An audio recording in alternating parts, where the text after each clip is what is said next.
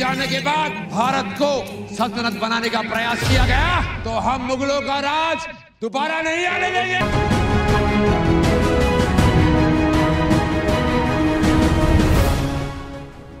भारत के क्रांतिकारी स्वतंत्रता सेनानी और हिंदुत्ववादी विचारधारा को विकसित करने वाले स्वतंत्र वीर सावरकर के जीवन गाथा को प्रदर्शित करते हुए अभिनेता, डायरेक्टर सहलेखक और सह निर्माता रणदीप हुड्डा द्वारा निर्मित स्वतंत्र वीर सावरकर फ़िल्म 22 मार्च को सभी सिनेमागृह में प्रदर्शित हुई है।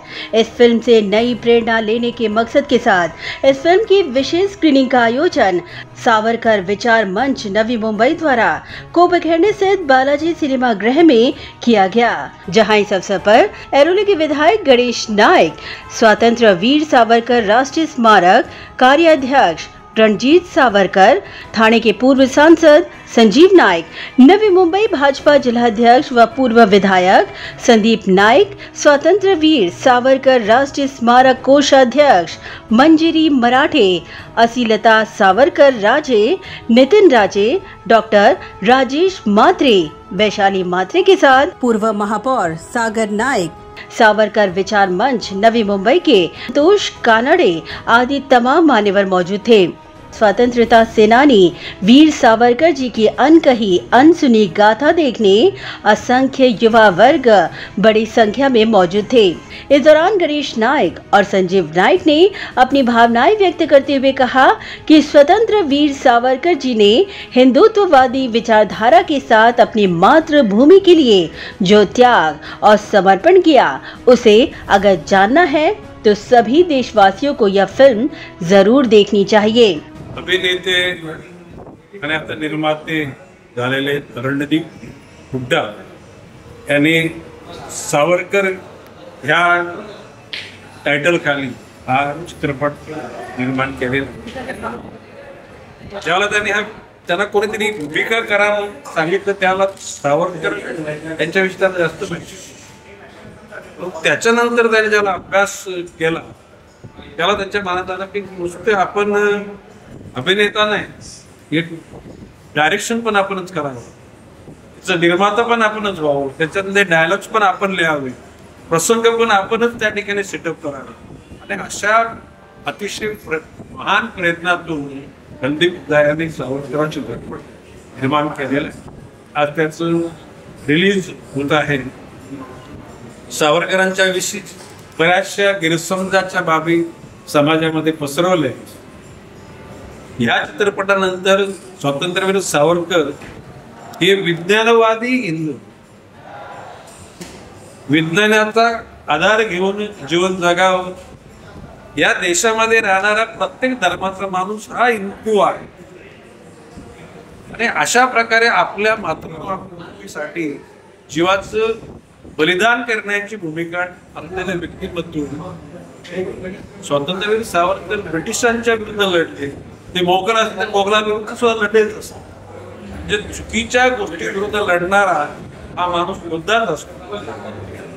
ज्या वेळेला लोकशाही येते त्याला कायदा निर्माण होतो त्या कायद्याद्वारे तुम्हाला मर्यादेमध्ये आंदोलन करावं लागतात तुमची जीवनशैली उभा राहावी लागते. परंतु त्या कालखंडामध्ये ज्याला सशस्त्र बंड सशस्त्र लढा ही भूमिका सावरकरांनीच करायची निभावली आणि त्या कालखंडाच्या विश्वातल्या सर्व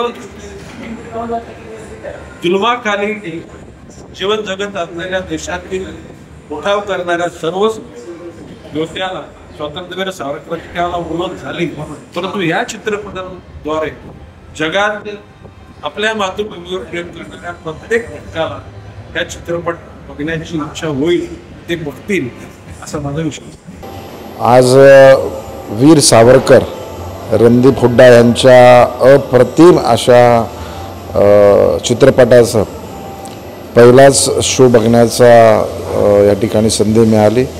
आणि खऱ्या अर्थानं अंगावर काटा शहारा आणणाऱ्यासारखा असा चित्रपट वास्तवता ज्या सावरकरांनी या देशासाठी केलेलं जे त्यांचं एक समर्पण होतं त्यांची स्वतंत्र मिळण्यासाठीची तळमळ धडपड ह्या एकंदरीत या चित्रपटामध्ये सुद्धा आपल्याला बघायला मिळतो. सावरकर आपण सर्वांनी वाचला असेल परंतु पहिल्यांदाच हा हे सावरकर आपल्याला बघायला मिळतात. मला वाटतं हा चित्रपट सर्वांनी बघितला पाहिजे.